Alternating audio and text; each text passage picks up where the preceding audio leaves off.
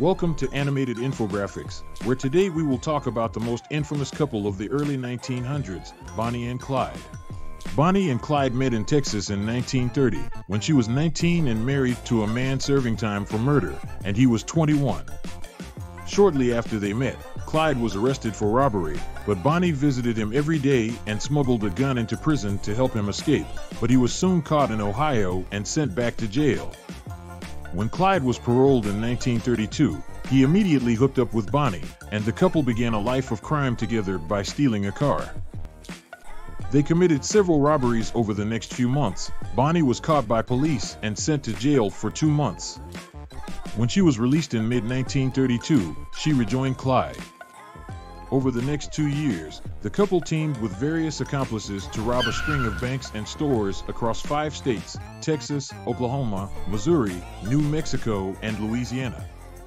To law enforcement agents, the Barrow Gang were cold blooded criminals who didn't hesitate to kill anyone who got in their way, especially police or sheriff's deputies. Among the public, however, Bonnie and Clyde's reputation as dangerous outlaws was mixed with a romantic view of the couple as folk like heroes.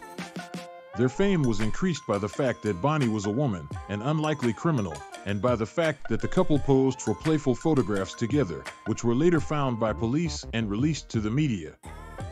Police almost captured the famous duo twice in the spring of 1933, with surprise raids on their hideouts in Joplin and Platte City, Missouri. But Bonnie and Clyde escaped once again.